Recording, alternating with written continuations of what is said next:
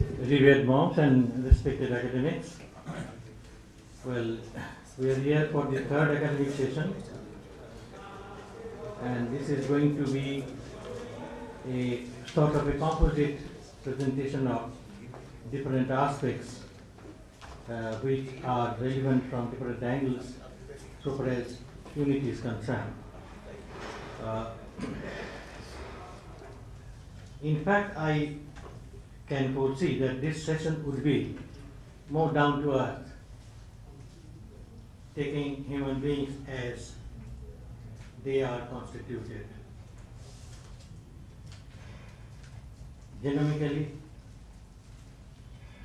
ethnographically, and also historically. The emphasis should be, I hope, less on the spirituality on which much has been We have a distinguished panel of speakers with Professor Partha Majumder coming first in the list and he does deserve our immediate attention in view of his very outstanding contributions. Uh, he has been modest enough to ask me not to relate his biodata in detail. But let me at least say this much that Professor Majumder is currently the founding director of the National Institute of Biomedical Genomics in Kalyani, India, on deputation from the Indian Statistical Institute, from where he had his master's and PhD. And uh, he, he is professor of the Indian Institute of Science Education and Research, Kolkata, and an honorary professor of the Jawaharlal Nehru Center for Advanced Scientific Research, Bangalore. This is a very paltry introduction, but uh, you will know more about him as he makes his presentation. Is, uh, the, sub, the title of his paper is An Approach to the Issue of Indian Unity from Modern Genomic Science. Well, thank you very much for uh, your kind introduction. Um, there is, as you can see, a slight change in the topic of my, um, in the title of my uh, talk. Uh, the title of my talk is Unity and Diversity of India, a genomic reconstruction from ancestral footfalls. Essentially, what I'm going to do, these, these words may, uh, may be very terse, but essentially what I'm going to do is to uh, reconstruct uh, the history of India and show you that there is uh, an underlying uh, theme of unity among the people of India using genomic knowledge. Um, many of you may know that uh, these genomes are passed on from parents to offspring. Um, the genomes are nothing but uh, the DNA that's contained within the chromosomes. These chromosomes are, in, uh, are, are contained in the cells. Uh, the information is passed on from one generation to the next. Um, the parental chromosomes, they mix. The information that's contained in the parents, they mix, and they're passed on uh, to the offspring. So as you can see, because this happens every generation, uh, there is obviously a continuity of the information that's contained in the DNA, uh, and, and this continuity lingers on for a long period of time. Does it go on without any change at all? The answer is no. Um, in each generation, because of certain biological processes, uh, these are called mutations and recombinations, uh, there are slight changes that take place in the genomic information that there is as they are packaged and passed on from parents to offspring. So in each generation, there will be a little bit of a change that will accumulate um, as, as these populations evolve over a period of time.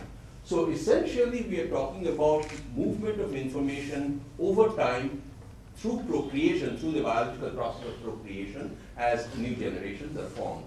Uh, it is the continuity, in spite of the little bit of change that there is in every generation, that allows us to reconstruct how humans may have evolved. So what I'm going to do is essentially to begin with, uh, tell you about how the human, modern humans as a species has evolved and moved around, as we know that humans have moved around and still continue to move around. Uh, and uh, in particular then focus on India and uh, talk about the underlying theme of unity of India as reconstructed from genomic data.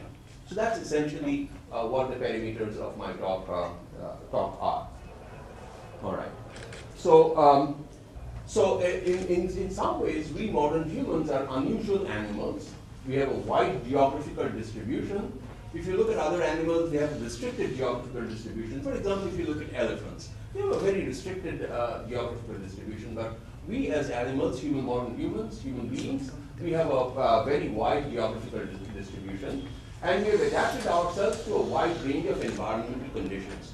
Other animals uh, need special kinds of environments to live, but we have adapted ourselves to a wide range of environmental conditions.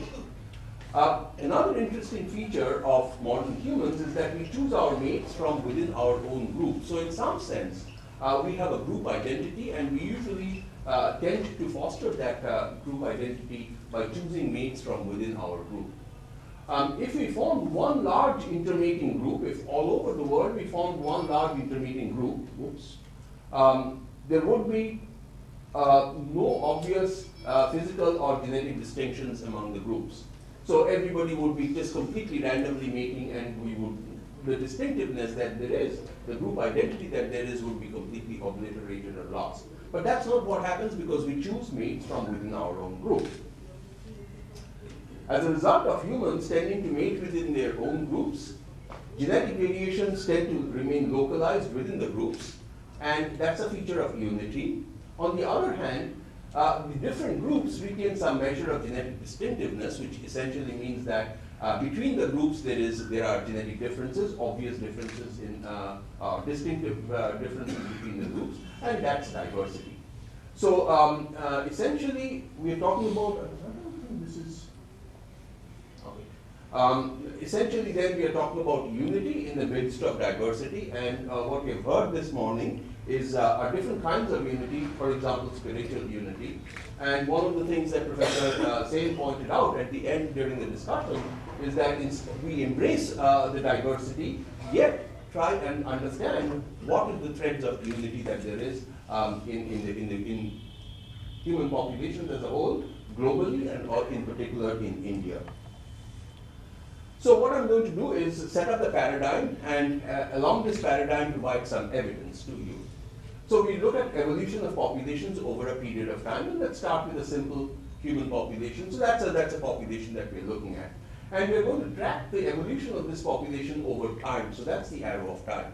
We are looking forward in time. What we are going to do is eventually to uh, reverse the arrow of time. So if you look forward in time, that specific group that there was, that they, they mated, the, uh, the numbers grew, and these individuals, the population size eventually grew.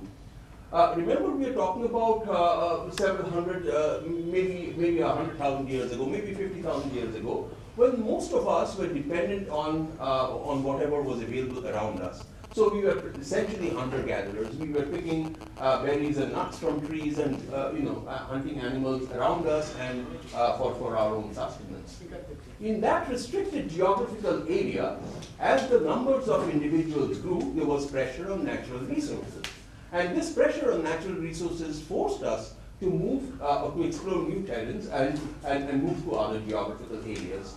So to say that uh, you know the, the, the, population that there was in that specific geographical area uh, remained there, but new uh, a subset of individuals moved to another place and populated a new geographical area. This process continued. That specific uh, uh, set of individuals.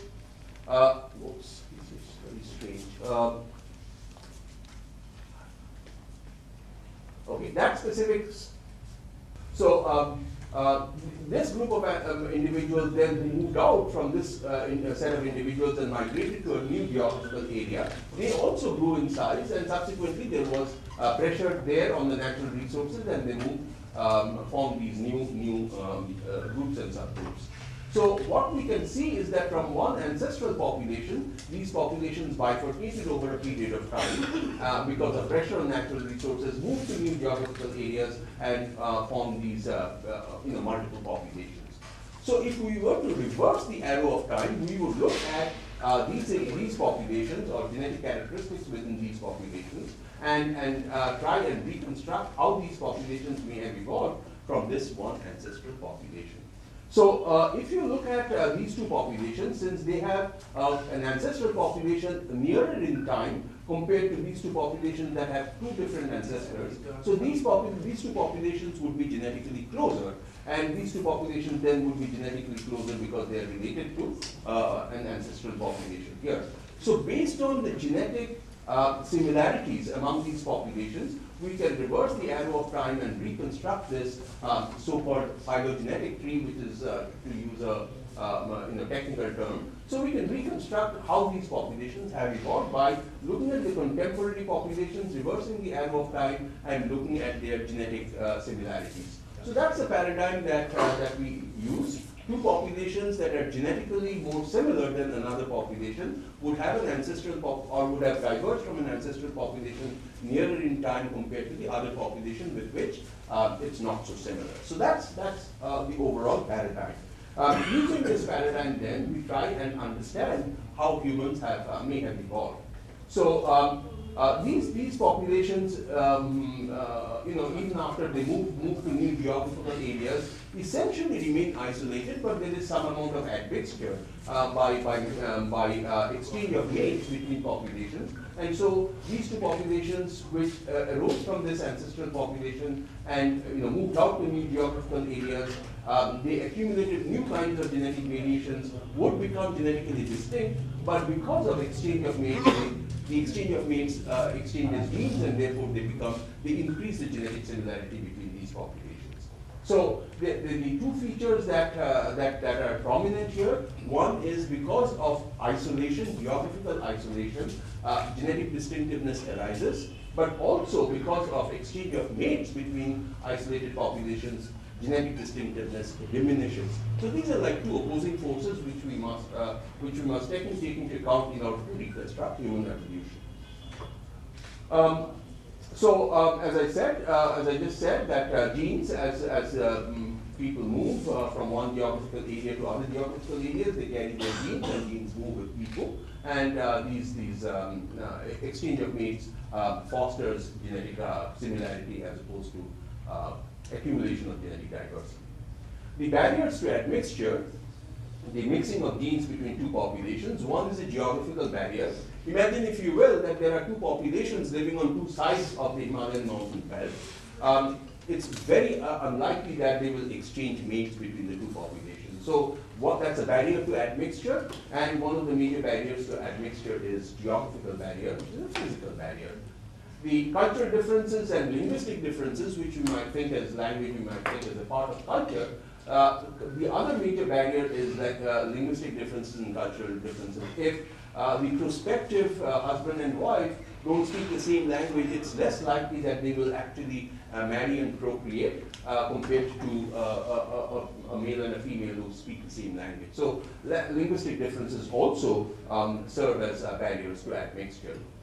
Um, as I said, human movements take place over a period of, over, the course of human evolution. Lots of human movements are taking place. Uh, initially, it's prompted by population expansion because uh, most humans were hunter-gatherers to begin with. This population expansion uh, leads to pressure on natural resources. The pressure on natural resources leads them to migrate to new areas. Um, the, and, and, and as I said, that as they migrate to new areas, they, they carry their genes and the genes move with people the, uh, along with migration and movement to new areas and uh, the independent thinking that modern humans have, they innovate. And this innovation leads to export, export of, uh, uh um, of, of uh, ideas. So there are two kinds of export that take place. One is um, uh, the, the, the export is in terms of innovation of ideas or ideas that lead to innovations. And the export can be diffusion of ideas only with no physical movement of people if there is no physical movement of people, then uh, there is uh, then there is no movement of genes, and this is called cultural diffusion by word of mouth, so to say. There is also another way of uh, exporting ideas, which is through actual physical movement of people, uh, which is called demic diffusion. And when there is physical movement of people, there is going to be movement of genes. So this is called demic diffusion. I will come back to these two uh, different aspects or these, these two uh, opposing um, viewpoints with respect to cultural diffusion and demic diffusion when I talk about agriculture or the evolution of agriculture that led to massive population movements and I'll uh, show you some real data, uh, genetic data with respect to this. Okay. So as I said, we have, uh, we have our DNA and in this DNA there are certain kinds of signatures And uh, there are certain parts of the DNA that are, that are uh, transmitted along the female line. It's transmitted to, by the mother to all her children, um, and so on. So those are called, that's a maternal lineage. So if we track signatures uh, that are contained in the part of the DNA that's only uh, transmitted by the mother, and this is called mitochondrial DNA, which is outside of the nucleus. Most of the DNA material is within the nucleus in the cell, but outside of the nucleus also there are certain kinds of DNA that are passed on by the mothers to all her offspring. The father plays no role at all. So if you're tracking that uh, signatures in that portion of the DNA, we are actually tracking female lineages if we do it over a long period of time. So uh, imagine, if you will, that these are three different kinds of signatures that we have, and let's just call them as one, two, and three. As you can see that we are tracking, uh, it, it's, it's like a necklace, right? So this necklace has three beads, and the one, one bead here is red, uh, blue, and yellow. And it distinguishes from this bead, because, this necklace, because the bead here is white. So these three are three different kinds of necklaces that human beings are wearing, so to say, and these necklaces are passed on by the mother to all her offspring. So if we track the frequencies of these various kinds of necklaces in different populations, uh, the way that we do this is uh, we go to different populations, uh, tribal populations, caste populations, and so on, um, in, in different parts of, uh, uh, let's say, of India or in different parts of the world, and sample a number, let's say that from each of these 10 populations that we have uh, purposely chosen, we select randomly 100 individuals from each population and ask ourselves, uh, how many people are wearing this kind of a necklace, how many people are wearing this kind of a necklace, and how many people are wearing this kind of necklace. Uh, of course, these are not the only three kinds of necklaces that uh, an individual may be wearing because there may be other kinds of necklaces also. So essentially we enumerate the different kinds of necklaces that we find uh, people wearing um, and, and the wearing is in the DNA, not, not physically wearing. So uh, these signatures in the DNA and estimate the proportions of these different signatures. What do we find? One of the things that we find is that if you look at all over the world, uh, one major thing that you, uh, I, am probably going to skip this. Uh, one major thing that you find is, first of all, uh, you, if you uh, look at these necklaces, the necklaces are, uh, a large number of necklaces can be found. So these necklaces have been called L1, L2, L3, etc. The interesting part is that these necklaces are such that the ones that